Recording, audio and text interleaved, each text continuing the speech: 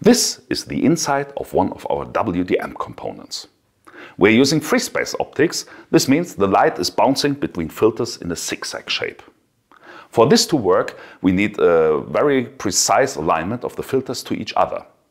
If you want to find out how we measure this precision, stick around.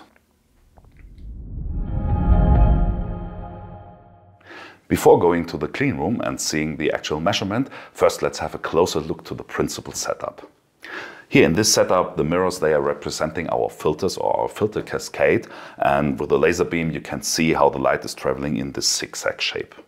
Obviously, when I'm tilting this filter only a little bit, the light is traveling out of the cascade. So this means uh, uh, the optical setup will not work anymore.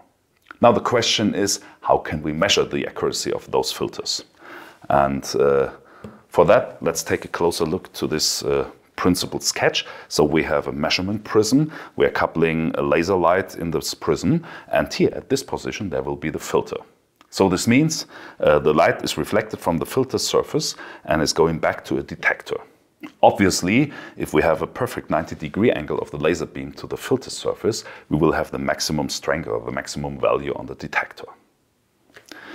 If we now insert this measurement prism into the filter cascade, so I'm going to the first filter, now we can tilt this prism and we can rotate it and all the data from the detector is stored with the information of the angle. So this means um, by determining the, the maximum value, we know the angular position of this filter. If we now go to the next filter and do the same, and so on and so forth. We have all the information of the four or eight filters uh, depending on the setup. Okay, enough for theory. Let's go down to the clean room.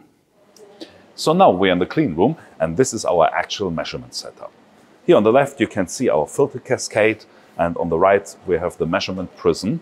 And if we now start the software, the prism is inserted or is driving into the filter cascade and as you can see it's tilting and rotating and all the values or the strength of the reflected signal is uh, measured in, in this software.